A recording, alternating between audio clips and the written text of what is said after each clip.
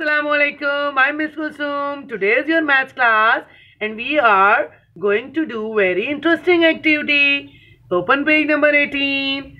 Color the boxes that shows number 1. Look at the first box. We have two oranges. Let me count. One, two. One, two. But we have to color the box that shows number 1. Now, look at another box we have many balls. Let me count. One, two, three, four, five, six, seven. But we have to color the box that shows number one. Now, come on the next box. We have a clock. Let me count. One. Yes, this is one. One clock.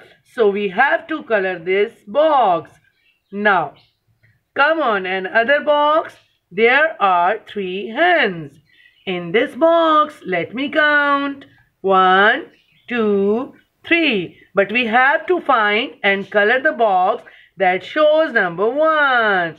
Now, come on the next box. We have a bird. Let me count.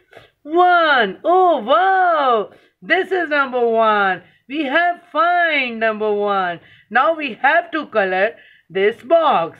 We have to color this box. Very good. Come on the next box. We have many watermelons. Let me count. One, two, three, four, five, six, seven, eight. But we have to find and color the box that shows number one. Now, come on another box we have a pumpkin. Let me count. Yes, this is one. We have to color this box. We have to color this box. Very good. Come on the next box. There are four chicks. Let me count. One, two, three, four. But we have to find and color the box that shows number one. Very good. Now come on the Last box, there are five apples. Let me count.